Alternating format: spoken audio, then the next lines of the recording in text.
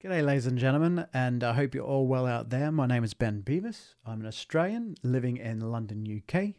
Uh, majority of my work is session commercial stuff, but my day job uh, allows me to going into uh, classical uh, as well as jazz. So I have to be quite versatile out there.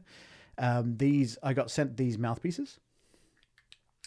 Um, these are called brand brand mouthpieces. So they're Swiss made. Uh, I got sent the Scream, the Lead,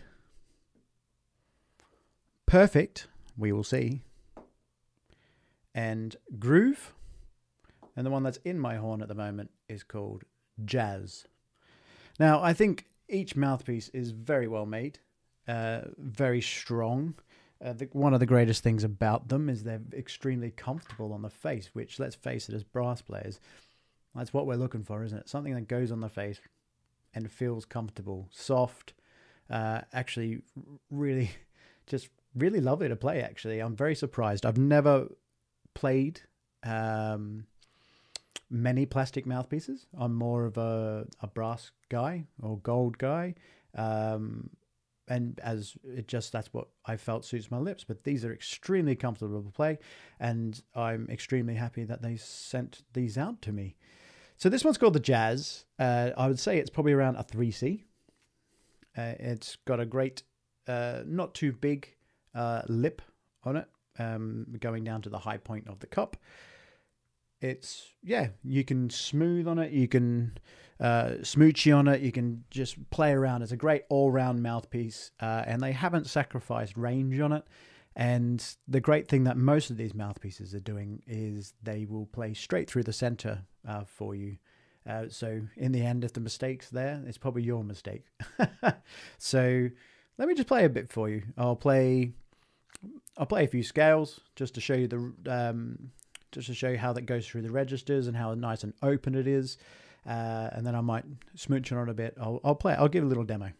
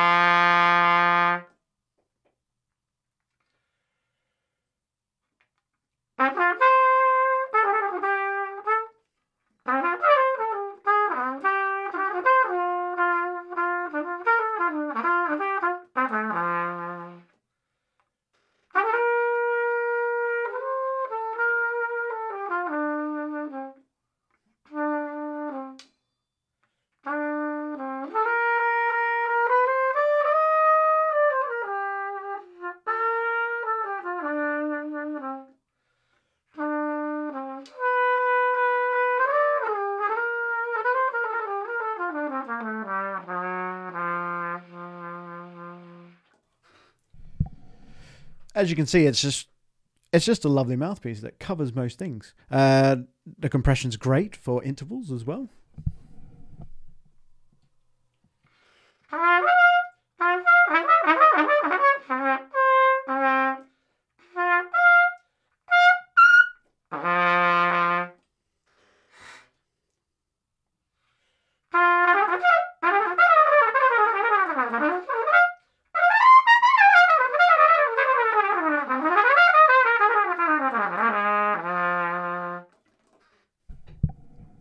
It's just a great all-round mouthpiece. I really like this. Uh, I'd probably use this in jazz quartets and uh, third, fourth chair of a big band. Uh, you could even dabble in some classical with it if that's how you felt. Uh, it's extremely comfortable. Uh, one thing I do like uh, before I move on to the next mouthpiece is just how the rims are all the same for all these. So literally, it doesn't feel any different when it goes on your face. It's just the different in in slotting of notes uh, that you get with the different uh, throats to back bores and the different cups. Now, this one's called the Groove. Uh, I'm pretty sure you can play on anything again on this. I find this one pops a bit more than the Jazz. Uh, just the notes are just a little bit brighter, a little bit more, well, poppy in a way, I guess. uh, this is a great mouthpiece. I like this one as well. Um, so here's a little bit on this.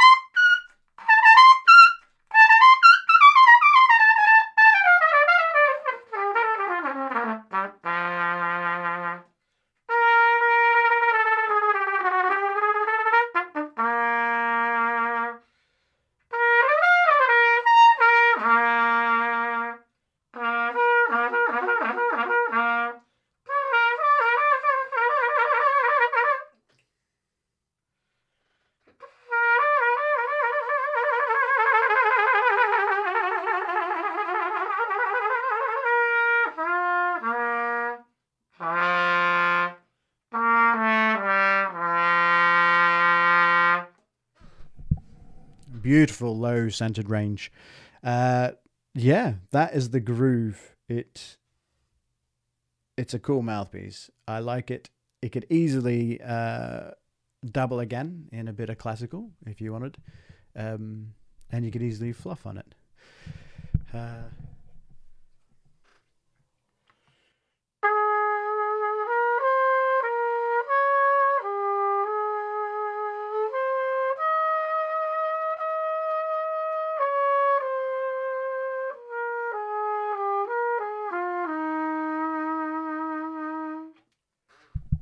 easily able to control volume, everything. The, they've got the pressure right on that. It's it's a it's a it's a lovely mouthpiece. Next mouthpiece is quite different. Uh, so you're probably looking at probably around a five C cup, maybe, maybe a little shallower, maybe maybe a seven C, uh, but. I would say probably close to a 5C, but it actually feels bigger than that. It probably feels around a 3 or a 2 uh, because I don't know whether you can see, but they've got a very high side on the lip. So where the high point sits, starts at the cup, they've actually lowered that, um, which makes the mouthpiece feel a lot bigger than what it is. But it also makes a nice sort of slot, a lovely center to each note. Now, this could easily be uh, a crossover mouthpiece for someone who plays classical and then goes into the jazz world. Um, let me play a little bit for you on this.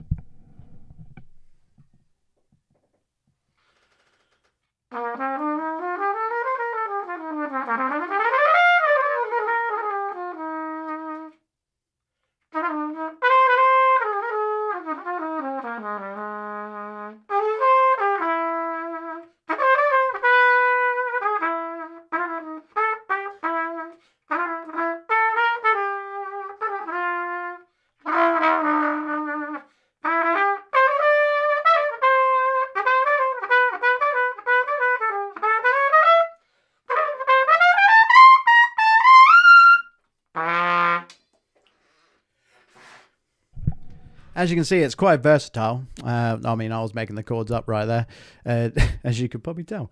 Uh, but it's extremely versatile. I really like this mouthpiece because of the versatility of it. Um, so, as I said, it could easily do a classical number as well.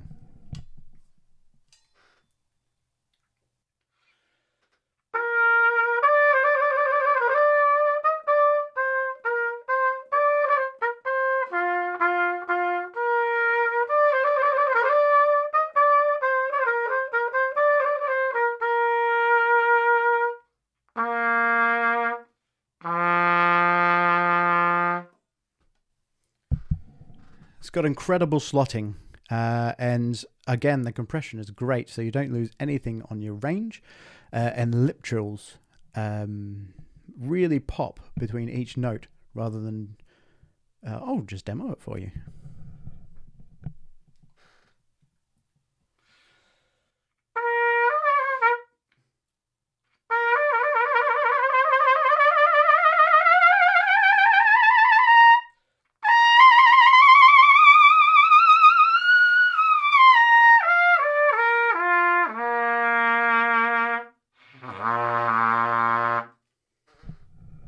It's a real great all round mouthpiece. Um, to say it's perfect, it could it could be out of these ones. It could be perfect for each genre. So you might maybe the perfect mouthpiece to be able to swap. How's that sound? Uh, the next mouthpiece I got is the lead mouthpiece. Now this is definitely probably around a 7C. The lead probably is quite V uh, shaped cup. Again, well built. They've, they've also got these grooves on the inside. I don't know whether you can see them. You can probably just see the condensation from me playing. Uh, they've got these grooves on these inside, and they're all um, spiraled, spiraled around. Uh, very slow, slightly spiraled uh, as it goes down the back bore, uh, make helping the air uh, turn, and uh, that's giving a nice free blow. Uh, they've really got a lot of the compression right on these mouthpieces. The lead one is, uh, in my mind, it's it's great. It's a great lead mouthpiece. It does everything you need as long as you don't muscle it. I mean, you can muscle this one a lot more than the Scream mouthpiece. Um, so it's slightly more open throat than the Scream mouthpiece. But apart from that, it's it's a great mouthpiece. Let's have a bit of a blow on this.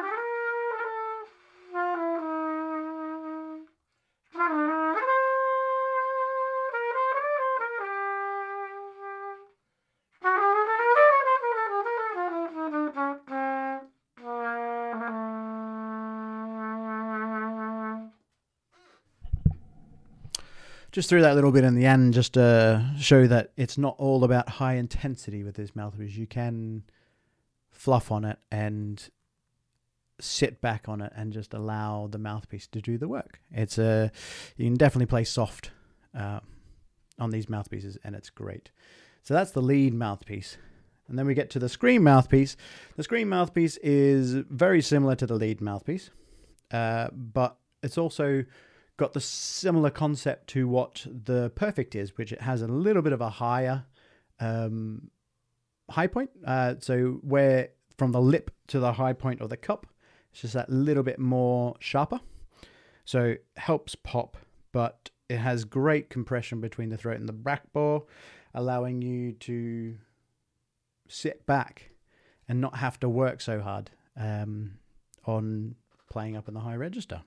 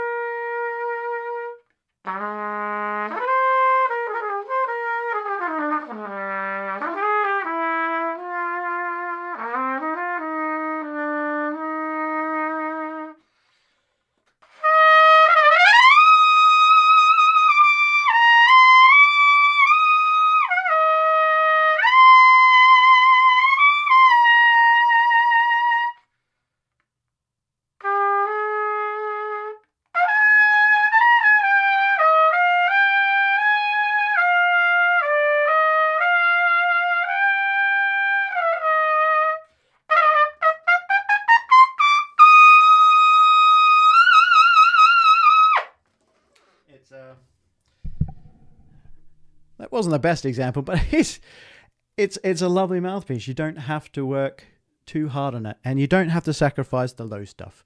So I'll do a bit of lip slurring and a bit of tonguing down, and uh, and then I'll play a little bit of MacArthur Park. I'll put a bit of that in.